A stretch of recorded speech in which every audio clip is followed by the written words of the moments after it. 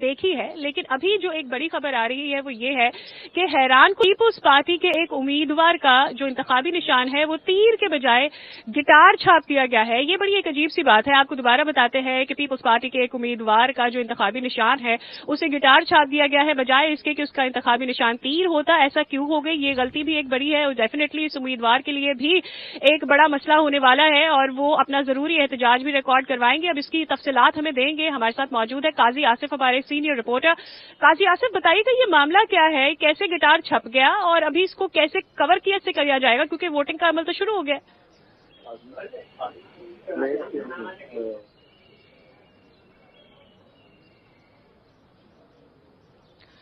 قاضی آصف، آپ کیا مجھے سن سکتے ہیں؟ جاننا یہ چاہتے ہیں کہ جو خبر مل رہی ہے کہ پیپلز پارٹی کے جو امیدوار ہیں، ان کا انتخابی نشان تیر کے بجائے گٹار چھاپ دیا گیا ہے۔ اس کے پیچھے کہانی کیا ہے؟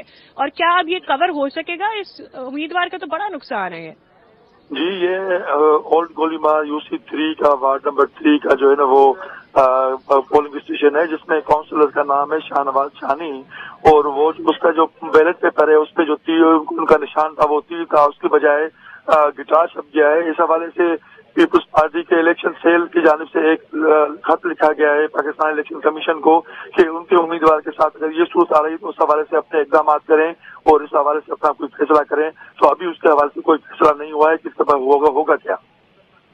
جی۔ ہلو۔